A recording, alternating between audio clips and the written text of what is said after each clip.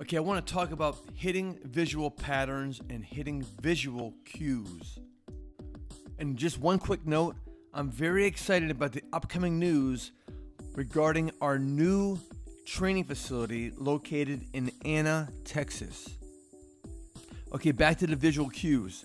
About six or seven years ago, I was deep inside the study of visual patterns and visual cues.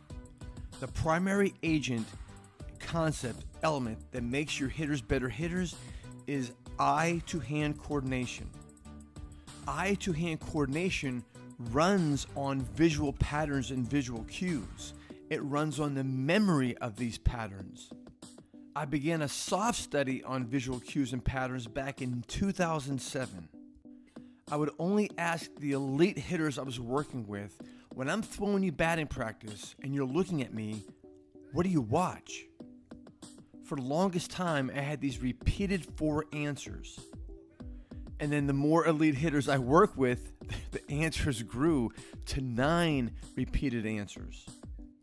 So that brings us back to today. These past several weeks, I've been inspired to dig in and help players find out what is their natural visual pattern, what's their natural way to watch the pitcher, and then come off the pitcher to pick up the baseball. These patterns are very specific patterns, and it's important to find out which pattern matches up with that hitter's natural athletic disposition, how they are wired to think. This is a very tedious task to assess and evaluate, and then to teach. But here's some good news I teach these visual patterns I've been studying for decades on our 6.0 best hitting drill course.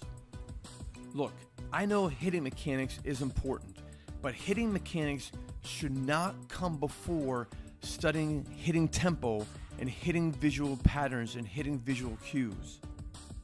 I want to inspire you to stop stalling your hitting development and to learn and research what is your natural way to watch the pitcher and to transition into watching the ball. I'm Dave Kirilloff, languageofhitting.com, and try optimizing not just your hitting, but your life, and follow Jesus Christ.